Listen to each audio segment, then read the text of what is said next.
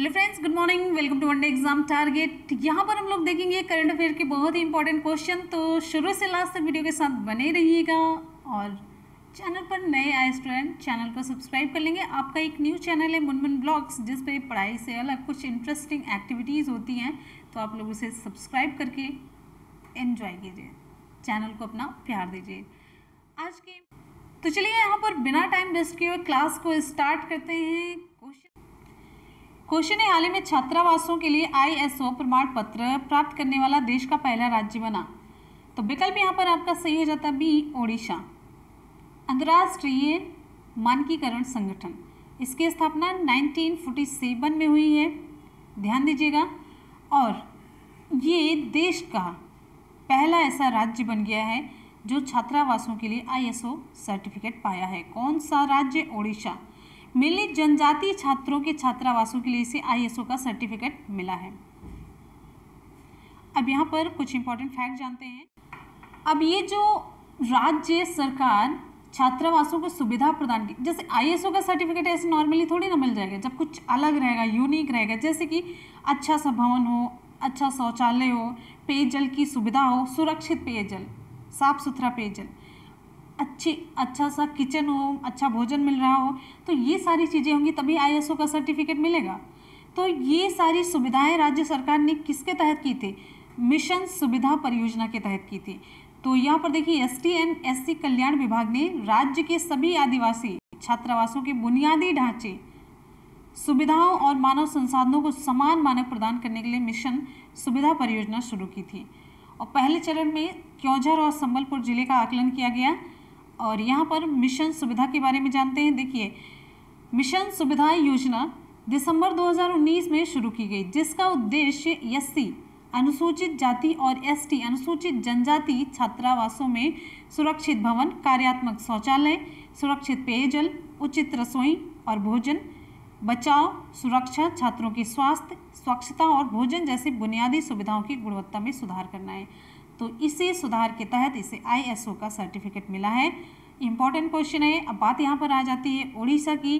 तो उड़ीसा की राजधानी भुवनेश्वर उड़ीसा के मुख्यमंत्री नवीन पटनायक उड़ीसा के राज्यपाल कौन है? गणेशी लाल। क्वेश्चन है, हाल ही में सहकार मित्र योजना का शुभारंभ किसके द्वारा किया गया? विकल्प कौन सा सही होगा यहाँ पर? विकल्प यहाँ पर सही हो जाता है आपका ए, नरेंद्र सिंह तोमर। तो नरेंद्र सिंह तोमर के द्वारा सहकार मित्र योजना का शुभारंभ किया गया। अब ये नरेंद्र सिंह तोमर कौन है? केंद्रीय कृषि एवं किसान कल्याण मंत्री हैं। इन्होंने राष्ट्रीय सहकारिता विकास निगम, नेशनल कोऑपरेटिव डेवलपमेंट कॉरपोरेशन की विशेष पहल, सहकार मित्र इंटर्नशिप कार्यक्रम पर योजना का शुभारंभ किया। ये किसकी विशेष पहल है? तो आपको उत्तर होगा N C D C. National cooperative development corporation, राष्ट्रीय सहकारी विकास निगम। जो ये एन सी डी सी है, ये सहकारी क्षेत्र के लिए अभिनव समाधान प्रदान करने में हमेशा से एक्टिव रहा है और इस योजना के द्वारा प्रोफेशनलों को सवेतन इंटर्न के रूप में एनसीडीसी और सहकारी समितियों के कामकाज से व्यवहारिक अनुभव प्राप्त करने और सीखने का अवसर मिलेगा। यहाँ पर कुछ इंपॉर्टेंट फैक्ट जान लेते हैं। कृषि एवं किसान कल्याण मंत्रालय के राज्य मंत्री कौन है? राज्य मंत्री की बात हम यहाँ पर कर रहे हैं तो पुरुषोत्तम रूपाला है। कृषि और किसान कल्याण मंत्रालय के राज्य मंत्री राज्य मंत्री कौन है?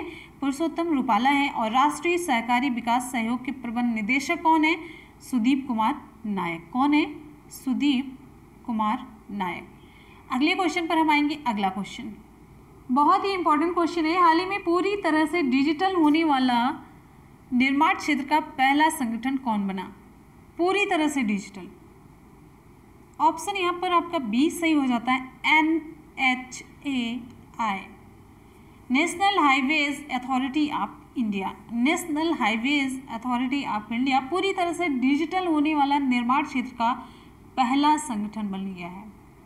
National highway authority of India NHAI के कर्मचारी बिना किसी शारीरिक संपर्क और भौतिक रूप से फाइलों को छुए बगैर, बिना डर के काम कर सकते हैं। तो ये पूरी तरह से डिजिटल हो चुका है। तो ये मेनली कोरोना महामारी से निपटने के लिए ये व्यवस्था की गई है। और यहाँ पर आप इम्पोर्टेंट फैक्ट जानते रहिए। केंद्रीय सड़क परिवहन और राजमार्ग मंत्री कौन है? नितिन जयराम गडकरी। और एन एच ए आई की स्थापना कब हुई? 1988 में और N H A I national highways authority of India के अध्यक्ष कौन है? तो सुखवीर सिंह संधू। क्या नाम है? सुखवीर सिंह संधू। इंपॉर्टेंट क्वेश्चन है। हाल ही में दिव्यांग आंगनवाड़ी कार्यकर्ताओं को कोरोना योद्धाओं का दर्जा किस राज्य सरकार के द्वारा दिया गया? ऑप्शन यहाँ पर आपका सही हो जाता है बी एमपी सरकार के द्वारा। मध्य प्रदेश सरकार ने दिव्यांग आंगनवाड़ी कार्यकर्ताओं को कोरोना वॉरियर्स का दर्जा देने की घोषणा की है। इन दिव्यांग आंगनवाड़ी कार्यकर्ता को यह दर्जा राज्य में चल रहे मिली जो कोरोना संकट के दौरान महत्वपूर्ण भूमिका निभाने के लिए दिया गया है। ठीक है? अब यहाँ पर अच्छा ये इसी समय वे घर जा कर के पौष्टिक आहार वितरित करती हैं और लोगों को इसके बारे में जागरूक कर रही हैं और सोशल डिस्टेंसिंग का पालन करने की सलाह भी दे रही हैं। तो यहाँ पर बात आ जाती है एमपी की मध्य प्रदेश की तो इम्पोर्टेंट फैक्ट जान लेते हैं, मध्य प्रदेश से रिलेटेड अब यहाँ मैप में देखिए, मध्य में है मध्य प्रदेश, इसके साथ कौन कौन से राज्य सीमा बना रहे हैं और उनकी राजधानियाँ। तो यहाँ पर देखिए उत्तर प्रदेश पहला राज्य और राजधानी इसकी क्या है? लखनऊ। दूसरा राज्य ये देखिए मध्य प्रदेश से टच करता है छत्तीसगढ़, जिसकी राजधानी है रायपुर, जो कि मध्य प्रदेश से ही अलग हुआ राज्य है छत्तीसगढ़। अब यहाँ पर देखेंगे इधर है महाराष्ट्र, जिसकी राजधानी है मुंबई। इधर है ये वाला पोर्शन ग्रीन वाला जो दिख रहा है, गुजरात का, जिसकी राजधानी है गांधीनगर। ये रहा येलो वाला रीजन ये पूरा देखिए राजस्थान जिसकी राजधानी है, जयपुर। तो कितने स्टेट हो गए? उत्तर प्रदेश, छत्तीसगढ़। उत्तर प्रदेश, छत्तीसगढ़, महाराष्ट्र, गुजरात, राजस्थान। पूरे पाँच स्टेट मध्य प्रदेश से सीमा बना रहे हैं और उनकी राजधानियाँ भी आप लोगों ने जानी। और कुछ और कुछ इंपॉर्टेंट फैक्ट यहाँ पर जान लेते हैं। मध्य प्रदेश की राजधानी, आप लोगों ने देखा भोपाल है, पूरे ज़िले यहाँ पर 52 हैं। इसका गठन कब हुआ? एक नवंबर 1956 को। वर्तमान में राज्यपाल कौन है? लालजी टंडन और मुख्यमंत्री शिवराज सिंह चौहान है। विधानसभा में सीटों की संख्या है दो सौ इकतीस सीटें और राज्यसभा में 11 लोकसभा में उनतीस सीटें। अभी आपको मैंने बताया मध्य प्रदेश की सीमाएँ पाँच राज्यों को टच करती हैं और यहाँ पर मुख्य स्थल हैं भीमबेटका पंचवटी, खजुराहो, सांची स्तूप, ग्वालियर का किला। अब यहाँ पर देखिए, मध्य प्रदेश के उज्जैन में प्रत्येक बारह वर्षों में कुंभ मेला लगता है। ध्यान दीजिएगा, बहुत इंपॉर्टेंट जितने भी आप स्थल देख रहे हैं, बहुत ही इंपॉर्टेंट है यहाँ पर। देखिए, यहाँ पर हम मध्य प्रदेश के बारे में और भी इम्पोर्टेंट फैक्ट की बात करते हैं। मध्य प्रदेश में जहाज़ महल है। कहाँ पर? बांधवगढ़ ज़िले में जहाज़ महल है। और मध्य प्रदेश को एक टाइगर स्टेट के नाम से जाना जाता है और मध्य प्रदेश को ही सोया स्टेट के नाम से जाना जाता है, सोया प्रदेश के नाम से। सोया का उत्पादन बहुत ज़्यादा होता है। अच्छा और यहाँ पर अगर हम बात करते हैं जनसंख्या की दृष्टि से ये किस स्थान पर है स्टेट तो छठे स्थान पर है। क्लियर है? और यहाँ पर आपको बता दें, मध्य प्रदेश के ग्वालियर में दिव्यांग जन खेल कूद केंद्र भी है। और अब यहाँ पर अगर हम करंट अफेयर्स से इंपॉर्टेंट फैक्ट की बात कर लेते हैं तो यहाँ पर सबसे पहले देखिए योजनाएँ। जीवन शक्ति योजना यहीं पर प्रारंभ हुई, जिसमें महिलाएँ मास्क बनाएँगी कितने रुपए? ग्यारह रुपए में। जीवन अमृत योजना इम्यूनिटी बढ़ाने के लिए ये योजना है। चरण पादुका योजना यहीं पर शुरू की गई, जिसमें प्रवासियों को जूते चप्पल प्रोवाइड किए जा रहे हैं। F I R F I R आपके द्वार योजना भी मध्य प्रदेश में स्टार्ट हुई। और यहाँ पर बात करेंगे संकल्प योजना की तो संकल्प योजना बुज़ुर्गों की सहायता के लिए ये योजना स्टार्ट की गई है। और आपको यहाँ पर बताएँ मिर्च महोत्सव। मिर्च महोत्सव भी मध्य प्रदेश में संपन्न हुआ। किस ज़िले में इम्पोर्टेंट जानिए? खरगोन ज़िले में। खरगोन ज़िले में मिर्च महोत्सव हुआ। और यहाँ पे आपको बताएँ, तानसेन समारोह भी हुआ मध्य प्रदेश में। और नमस्ते ओरछा नमस्ते ओरछा। ध्यान दीजिएगा, नमस्ते ओरछा महोत्सव, ये भी कहाँ पर हुआ? मध्य प्रदेश में हुआ। पर्यटन को बढ़ावा देने के लिए और ये ओरछा शहर में हुआ। कहाँ पर हुआ? ओरछा शहर में हुआ। ओरछा किस नदी के किनारे है, ये जानते रहिए। ओरछा है बेतवा नदी के किनारे। क्लियर है? और मिड डे मील के तहत, जैसा कि आप सभी जानते हैं मिड डे मील में बच्चों को खाना दिया जाता है जब बच्चे स्कूल जाते हैं। तो स्कूल जाना ही इसमें बंद कर दिए हैं इस महामारी के दौरान। तो मिड डे मील के तहत राशन देना प्रारंभ किया है। सबसे पहले किसने? मध्य प्रदेश ने। तो मिड डे मील के तहत राशन देने वाला पहला राज्य कौन सा बना? मध्य प्रदेश है। और टॉप पेरेंट टॉप पेरेंट एक एप्लीकेशन भी लॉन्च किया गया। Top parent top parent application launch किया गया किसके द्वारा? मध्य प्रदेश के द्वारा। किस लिए? स्टूडेंट को पढ़ाने के लिए। ठीक है? पढ़ाई आपके द्वार, ये योजना इस एप्लीकेशन से पूरी होगी। टॉप पेरेंट एप्लीकेशन से। और अब यहाँ पर एक बहुत ही इंपॉर्टेंट क्वेश्चन आप लोग तैयार कर लीजिए। अभी झाबुआ की बात हुई, झाबुआ ज़िले की बात हुई, झाबुआ जिला कहाँ पे आप लोगों ने सुना? दीदी वाहन सेवा शुरू की गई कहाँ पर? झाबुआ ज़िले में मध्य प्रदेश के। तो इसी झाबुआ ज़िले में चंद्रशेखर आज़ाद का भी जन्म हुआ था। तो चंद्रशेखर आज़ाद का जन्म किस राज्य में हुआ? मध्य प्रदेश में। किस ज़िले में? झाबुआ ज़िले में जहाँ पर दीदी वाहन सेवा शुरू की गई। चलते हैं अगले क्वेश्चन की तरफ़। अगला क्वेश्चन आप सभी के लिए। क्वेश्चन है हाल ही में उर्दू के जाने माने लेखक एवं कवि का निधन हो गया। उनका नाम क्या था? विकल्प यहाँ पर आपका सही हो जाता है। गुलजार देहलवी। ऑप्शन सी ये उर्दू के मशहूर कवि। आनंद, इनका पूरा नाम क्या था? आनंद मोहन जुत्शी, गुलजार देहलवी। ठीक है? और ये सरकार द्वारा उर्दू में प्रकाशित की जाने वाली एकमात्र विज्ञान पत्रिका, साइंस की दुनिया, साइंस की दुनिया के ये संपादक थे, जो 1975 में शुरू की गई थी। और साथ ही उन्हें पूरे भारत में उर्दू स्कूलों की स्थापना का श्रेय भी दिया जाता है। और इसके अलावा वे तीस के दशक में स्कूल में पढ़ने के साथ साथ स्वतंत्रता आंदोलन से भी जुड़े थे। तो इतने इंपॉर्टेंट फैक्ट इनके बारे में जानिएगा और ये इंपॉर्टेंट हो जाता क्यों? क्योंकि इनके साथ कई उपलब्धियाँ जुड़ी हुई हैं। ध्यान दीजिएगा, निधन में कुछ ही लोगों का इंपॉर्टेंट होता है जिनके साथ बहुत ज़्यादा उपलब्धियाँ जुड़ी हुई होती हैं। चलते हैं हम अगले क्वेश्चन पर। अगला क्वेश्चन आपके लिए यहाँ पर है। क्वेश्चन है, हाल ही में वर्ल्ड फ़ूड अवार्ड 2020 का अवार्ड किसने जीता? बहुत ही बढ़िया। सारे क्वेश्चन आप लोग यहाँ पर देख रहे हैं, बहुत ही इंपॉर्टेंट है। तो एक बार जल्दी से आप सभी लोग वीडियो को लाइक और दोस्तों में शेयर करेंगे। आप लोग शेयर बिल्कुल भी नहीं करते हैं। कम से कम अपने फेसबुक सभी के पास फेसबुक है तो सभी अपने फेसबुक पेज पर ज़रूर शेयर किया करिए व्हाट्सएप पर शेयर किया करिए, ठीक है? ज़्यादा नहीं तो एक शेयर आप लोग ज़रूर किया करिए। अगर आप कुछ भी, एक होता है ना कि कुछ देना चाहते हैं तो ज़रूर आप शेयर करते रहिए, जिससे कि सभी तक ये नॉलेज पहुँचे, अगर हम पढ़ा रहे हैं तो सभी लोग इसका फ़ायदा उठा सकें। क्वेश्चन है, हाल ही में वर्ल्ड फ़ूड अवार्ड 2020 का अवार्ड किसने जीता? तो विकल्प यहाँ पर सही हो जाता है आपका। Very good option A, Ratanlal. ये भारतीय अमेरिकी वैज्ञानिक है, रतनलाल। इन्होंने वर्ल्ड फ़ूड अवार्ड 2020 जीता है। वर्ल्ड फ़ूड प्राइज, यानी कि विश्व खाद्य पुरस्कार, इन्होंने ही जीता है।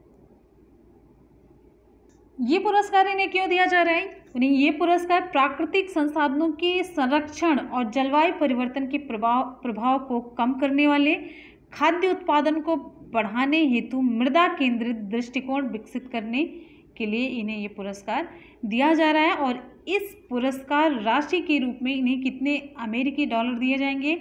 तो दो लाख पचास हज़ार अमेरिकी डॉलर इन्हें प्रदान किया जाएगा। और यहाँ पर जान लेते हैं विश्व खाद्य पुरस्कार के बारे में। तो विश्व खाद्य पुरस्कार एक अंतर्राष्ट्रीय पुरस्कार है। विश्व लगा हुआ है, वर्ल्ड लगा हुआ है। तो अंतर्राष्ट्रीय पुरस्कार है जो दुनिया में भोजन की गुणवत्ता, मात्रा और उपलब्धता में सुधार करके मानव विकास को उन्नत करने वाले व्यक्तियों की उपलब्धियों को सम्मानित करने के लिए पुरस्कार दिया जाता है। तो चलते हैं हम अगले क्वेश्चन पर। अगला क्वेश्चन आप सभी के लिए। क्वेश्चन है, हाल ही में अंतर्राष्ट्रीय एल्बिनिज्म रंगहीनता जागरूकता दिवस कब मनाया गया? विकल्प यहाँ पर कौन सा सही होता है? विकल्प यहाँ पर आपका सही हो जाता है ये तेरह जून को। International albinism L B albinism awareness day हर साल ये तेरह जून को, तेरह जून को अंतर्राष्ट्रीय एल्बनिज्म एल्बिनिज्म रंगहीनता जागरूकता दिवस मनाया जाता है। ये दिन प्रतिवर्ष एल्बिनिज्म के बारे में लोगों में, लोगों को जागरूक करने और इससे पीड़ित लोगों के मानवाधिकार के बारे में जागरूकता फैलाने के लिए मनाया जाता है। ठीक है? और इस बार के अंतर्राष्ट्रीय एल्बिनिज्म जागरूकता दिवस 2020 का विषय क्या है? तो विषय ये जानिए मेड टू शाइन। क्लियर है? चलते हैं हम अगले क्वेश्चन पर। अगला क्वेश्चन आप सभी के लिए। तो फ्रेंड्स, यहाँ पर आज के करंट अफेयर के क्वेश्चन हो जाते हैं कंप्लीट। जल्दी जल्दी से आप सभी लोग कर लीजिए, सुपरफास्ट रिविजन। तो क्वेश्चन है, हाल ही में सरकार सहकार मित्र योजना का शुभारंभ किसके द्वारा किया गया? ऑप्शन ए, नरेंद्र सिंह तोमर के द्वारा। अगला क्वेश्चन है, हाल ही में छात्रावासों के लिए आईएसओ प्रमाण पत्र प्राप्त करने वाला देश का पहला राज्य है। कौन सा बना? तो विकल्प आपका बी सही हो जाता है, ओडिशा। नेक्स्ट हमारा क्वेश्चन, ये तो इसके बारे में डिटेल था। क्वेश्चन है, हाल ही में पूरी तरह से डिजिटल होने वाला निर्माण क्षेत्र का पहला संगठन कौन बन गया? Option B N H A I next है, हाल ही में दिव्यांग आंगनवाड़ी कार्यकर्ताओं को कोरोना योद्धाओं का दर्जा किस राज्य सरकार के द्वारा दिया गया? विकल्प बी सही हो जाता है एमपी के द्वारा। नेक्स्ट है। क्वेश्चन है, हाल ही में उर्दू के जाने माने लेखक एवं कवि का निधन हुआ, उनका नाम क्या था? उनका नाम ऑप्शन आपका सी सही हो जाता है, गुलजार देहलवी। अगला है, हाल ही में वर्ल्ड फ़ूड अवार्ड 2020 का अवार्ड किसने जीता? तो विकल्प यहाँ पर आपका सही हो जाता है ये रतन लाल ने। क्वेश्चन है, हाल ही में अंतर्राष्ट्रीय एल्बिनिज्म रंगहीनता जागरूकता दिवस कब मनाया गया? तो ऑप्शन ए सही हो जाता है तेरह जून को। तो यहाँ पर सुपरफास्ट रिवीजन भी कंप्लीट हो जाता है और कर लेते हैं एक बार कल के क्वेश्चन का रिवीजन और साथ साथ में आप लोग उसका टेस्ट भी देते रहिए। चलिए देखते हैं।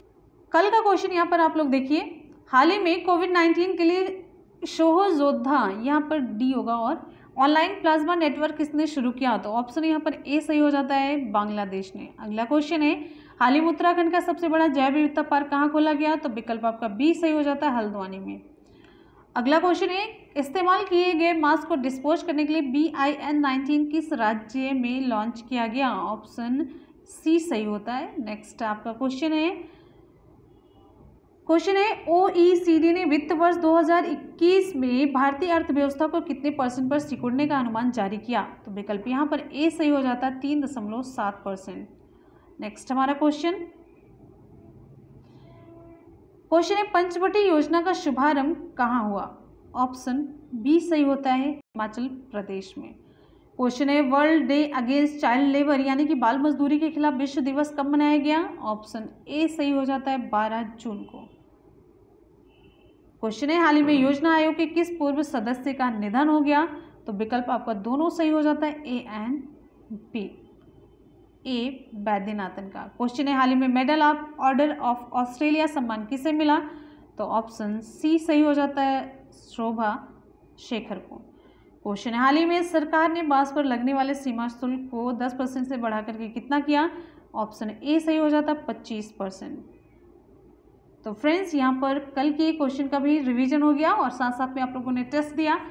और आज का सवाल देखेंगे, उससे पहले देखते हैं, जो कल मैंने सवाल पूछा था उसका सही जवाब। हाल ही में उत्तराखंड का सबसे बड़ा जैव विविधता पार्क कहाँ खोला गया? ऑप्शन आपका बी सही हो जाता है। उत्तराखंड राज्य का सबसे बड़ा जैव विविधता पार्क कहाँ पर खोला गया? हल्द्वानी में ऑप्शन बी सही हो होता है।